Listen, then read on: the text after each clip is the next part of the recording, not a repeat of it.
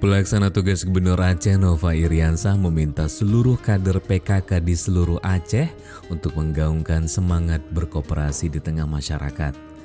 Dengan aktifnya usaha koperasi pastinya akan merangsang tumbuhnya wira usaha di kalangan masyarakat.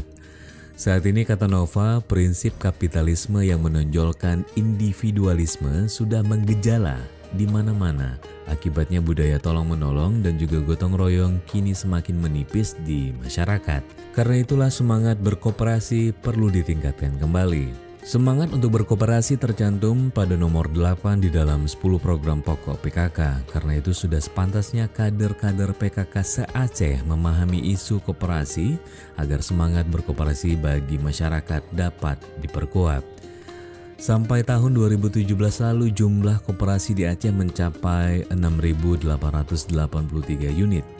Terdiri dari koperasi aktif sebanyak 4.356 unit atau 63,29 persen dan koperasi kurang aktif sebanyak 2.527 unit atau 36,71 persen Masyarakat Aceh bergabung sebagai anggota koperasi mencapai 470.354 orang.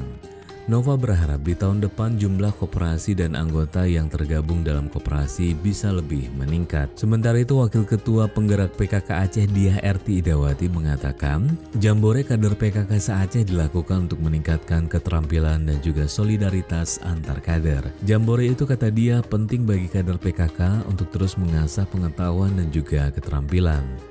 Dengan demikian nanti mereka memiliki kemauan kepekaan yang tinggi sebagai salah satu kunci keberhasilan PKK.